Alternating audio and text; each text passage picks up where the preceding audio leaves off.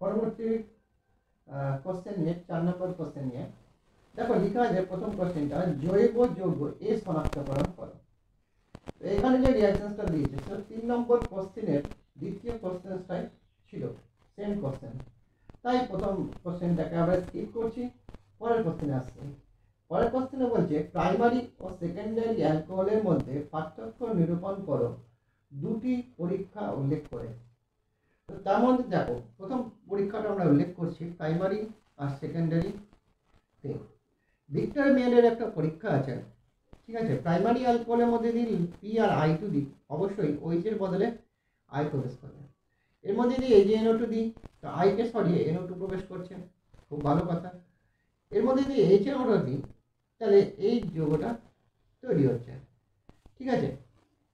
ব্যাপারটা এরকমভাবে হচ্ছে। ঠিক আছে যেহেতু এখানে হাইড্রোজেন দুটো আছে, একটা হাইড্রোজেন ঠিক আছে?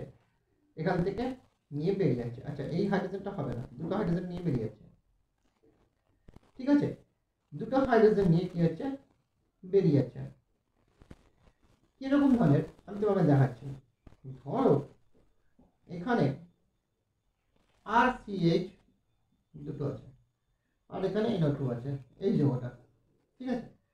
আর এই যে টু সংকেত হচ্ছে এন ডাবল বন্ড ও ও এইচ এবার এই যে ওটা আছে, এ কি করবে? এই দুটো হাইড্রোজেনকে নিয়ে বেরিয়ে যাচ্ছে। এবার দুটো হাইড্রোজেন অ্যাভেলেবেল পাচ্ছে, তাই জল বেরিয়ে যাচ্ছে। জল যে করে হোক বেরোবে। তো এখানে দেখো, জল বেরিয়ে যাচ্ছে দুটো হাইড্রোজেনকে নিয়ে অক্সিজেন তাহলে এই ডাবল বন্ড নাইট্রোজেন যে ডাবল বন্ড করেছে এই কার্বনের সাথে যুক্ত হয়ে এটা তৈরি করেছে দেখো double bond nitrogen OH nitrogen OH আর ইলেকট্রিক যেমন ছিল, তেমন থেকে গেল। তাহলে আশা করি এটা কি করে হলো বুঝতে পারছ? তো দেখো, এটা যেই তৈরি হয়ে গেল, এটা একটা অ্যাসিড গ্রুপ তৈরি হয়ে গেল। অ্যাসিড গ্রুপ কেন তৈরি হলো? কারণ দেখো এখানে carbon double bond nitrogen OH গ্রুপটা আছে। তো এই ওই এই অ্যাসিড গ্রুপের জন্য যেহেতু এটা অ্যাসিড নাইট্রোলিক অ্যাসিড তাহলে এই ক্ষারের মধ্যে লবণ তৈরি করবে আর দ্রবীভূত হয়ে যাবে। দ্রবীভূত হওয়ার ফলে এ লাল রঙের দ্রবণ তৈরি করবে। এই ক্ষারের দ্রবণে ক্ষারের সাথে বিক্রিয়া করে লবণ তৈরি করে দ্রবীভূত হয়ে যাবে। তাই এটা লাল রঙের দ্রবণ তৈরি করছে। কিন্তু সেকেন্ডারি ক্ষেত্রে যদি আমরা দেখি, তাহলে পি আই টু ওইচকে সরিয়ে আই আসবে? সেম রিয়াকশন হচ্ছে। ওইচকে সরিয়ে আই আসবে?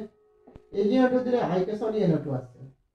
কিন্তু এবার দেখো, এই যে টু দিলে পরে এন ডাবল বন্ড ও থাকছে। অর্থাৎ এখানে, দেখো আমরা একটু আগেই বলেছিলাম, এবার এখানে কি হচ্ছে ওটা দেখে নিচ্ছি।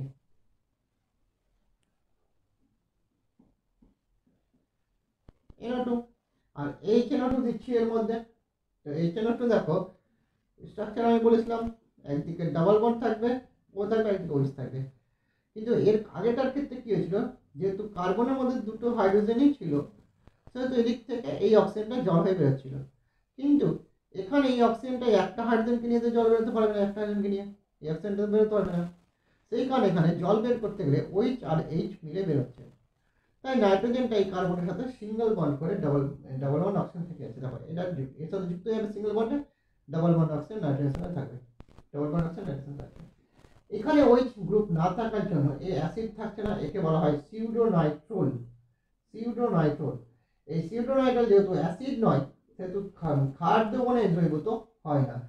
তাই এর যে নিজস্ব রং, নীল রং, সেই নীল রংটা দ্রবণের মধ্যে দেখতে পাওয়া যায়। এই যে, লিখেও দেওয়া আছে যে সিউডোনাইট্রোল যৌগটি এনএস দ্রবণে অদ্রাব্য, তাই এর নিজস্ব নীল বর্ণের জন্যই দ্রবণ নীল দেখাচ্ছে। তাহলে আমরা বুঝতে পারলাম জিনিসটা, কি হলো? তাহলে এটা ছিল একটা রিয়াকশন পরের রিয়াকশন আবার দেখাচ্ছি। তার আগে তোমরা এই পুরো রিয়াকশনসটাকে ছক করে খাতা তুলে নাও।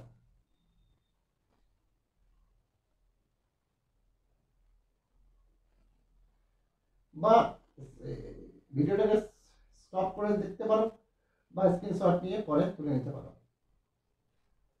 ঠিক আছে। চলো আমরা তাহলে দ্বিতীয় প্রশ্ন দ্বিতীয় রিয়াকশনসের দিকে যাই। তাহলে এবার দ্বিতীয়টা দেখে নিই। দ্বিতীয় রিয়াকশনসটা হচ্ছে তোমার আর সিএইচও মানে পারমানি অ্যালকোহলকে K two C two seven H two four এর উপস্থিতিতে পঁচিশ ডিগ্রি সেলসিয়াস উষ্ণতায় জারণ করা হয়? তাহলে এটা অ্যালডিহাইড হয় প্রথমে। তারপরে এটা কার্বক্সিলিক অ্যাসিড উৎপন্ন হয়। এই অ্যালডিহাইডটা টোরেন্স বিকারক যে দিয়ে আমরা শনাক্ত করতে পারব, আর এই কার্বক্সিলিক অ্যাসিডটা যদি তৈরি হয়, তাহলে আমরা স্টারিফিকেশন পদ্ধতিতে বিক্রিয়ার সাহায্যে শনাক্তকরণ করতে পারব। কিন্তু সেকেন্ডারি অ্যালকোহল থাকলে যদি K two C R two O seven আর এস্টের সাপোর্ট দিয়ে জ্বালন করি, পঁচিশ ডিগ্রি সেলসিয়াস তাহলে কিটোন তৈরি হয়।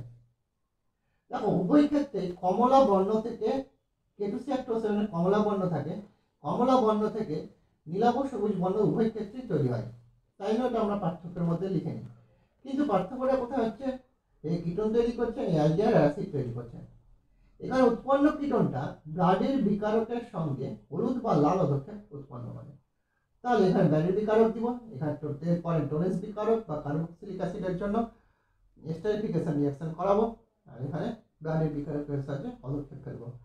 তাহলে এটা পার্থক্য হয়ে গেল। তাহলে এই দুটো বিক্রিয়ার পার্থক্য আমরা করে নিলাম।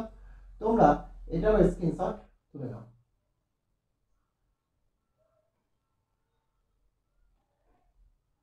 ঠিক আছে? তাহলে আমাদের এই চার নম্বর কোশ্চেন এখানে সলভ হয়ে গেল। আমরা পরের ভিডিওতে যাব, পরের কোশ্চেনটার জন্য।